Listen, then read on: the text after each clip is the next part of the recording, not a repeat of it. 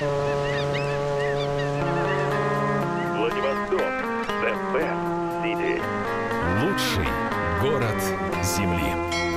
Здравствуйте, друзья! Улицы больших и малых российских городов носят имена героев Великой Отечественной войны. Есть такие улицы и у нас, в Владивостоке. И за каждым таким названием стоят героические истории простых советских людей, которые приближали нашу победу не только на фронтах Великой Отечественной войны, но и в тылу. Нынешней весной городская комиссия по топонимике присвоила одну из новых улиц в пригороде Владивостока имя капитана Валентины Орликовой. Валентина Яковлевна Орликова – первая женщина-капитан большого морозильного рыболовного траулера, единственная в мире женщина-капитан китобойного судна, ветеран Великой Отечественной войны и первая женщина в рыбной отрасли страны, удостоенная звания Героя социалистического труда. В нашем городе Валентина Орликова появилась осенью 1918 года. Здесь, в Владивостоке, прошли ее детство и юность. Здесь она окончила школу и водный техникум путей сообщения. Но затем была работа на судах торгового флота. Войну Валентина Орликова встретила на Балтике. В августе 41-го она участвовала в эвакуации из Сталина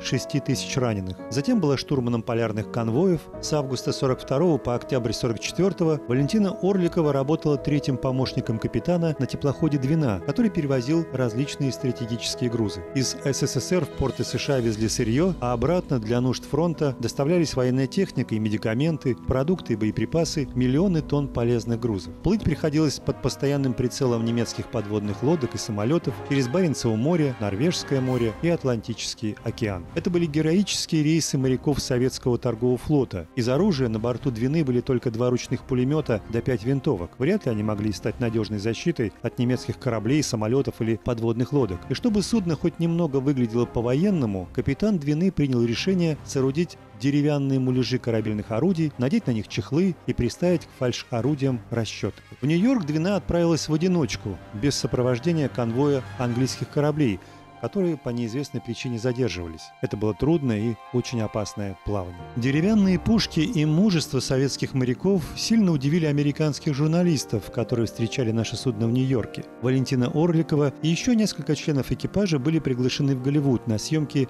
документального фильма о героизме русских моряков. На встречах с американцами Валентина Орликова читала стихи Ольги Бергольц о блокадном Ленинграде, и огромные залы без перевода понимали смысл этих стихов. В начале 1943 года в Нью-Йорке на русском языке вышла книга «Бегущий поток» о героическом рейсе парохода «Двина» и о Валентине Орликовой, помощнике капитана, которая в штормовую погоду или в спокойном море несет вахту на мостике, помогая управлять навигацией в заминированных и кишащих подводными лодками водах. В конце войны Валентина Орликова работала на линии Владивосток-Порты США. Она снова встретилась с Владивостоком, городом своей юности, где прошли 15 лет ее жизни. Затем Орликова вернулась в Балтийское пароходство, ходила старшим помощником капитана на европейских линиях, несколько лет была капитаном китобойного судна, и за освоение этого промысла в районах Дальнего Востока ее наградили Орденом Трудового Красного Знамени. В 1955 году Валентина Орликова снова поднимется на капитанский мостик и станет первой женщиной-капитаном больших морозильных рыболовных траулеров.